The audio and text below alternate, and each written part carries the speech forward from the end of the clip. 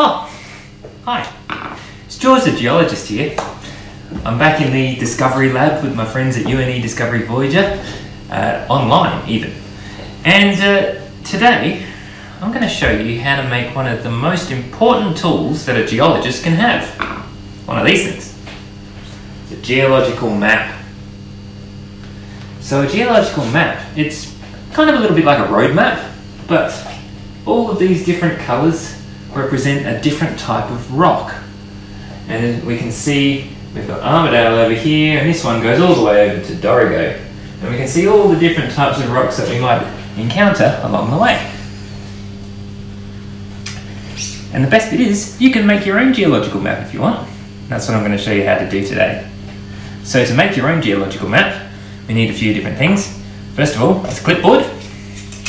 And we need a base map.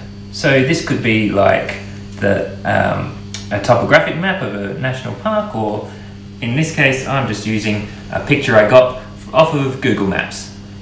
And we can see all. This this is just the town of Armidale. We've got all the streets and things named on there, so we can easily find where we are on our map.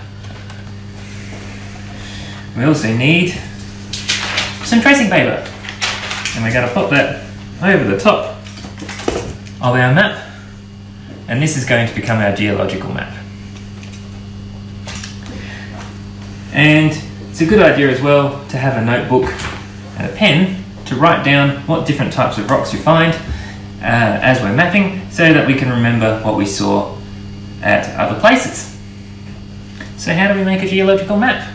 Well, we go for a walk. So I've been doing this around Armidale and I'll walk down the street and when I find a rock.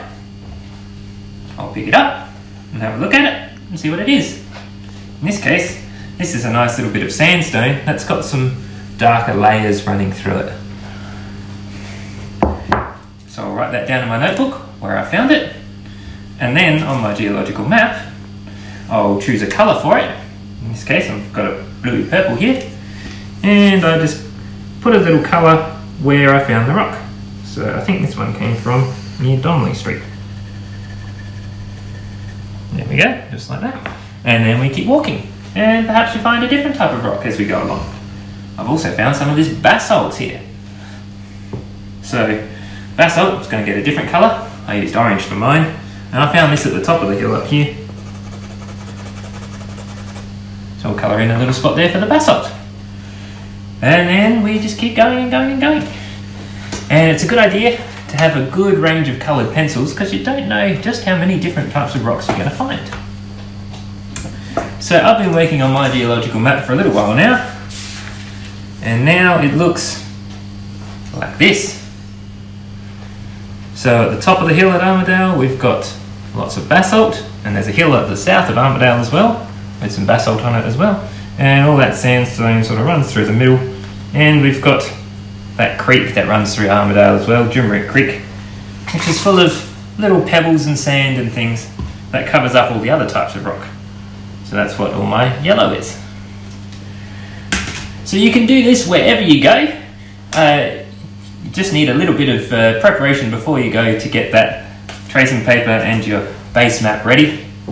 Um, if you have a go at this, maybe over the summer holidays when you're on, uh, down at the beach or going for a walk in a national park, give it a go. And I'd love to see what your geological maps look like. My colouring in is still a little bit uneven on this one, so I'm going to get back to work. See you later.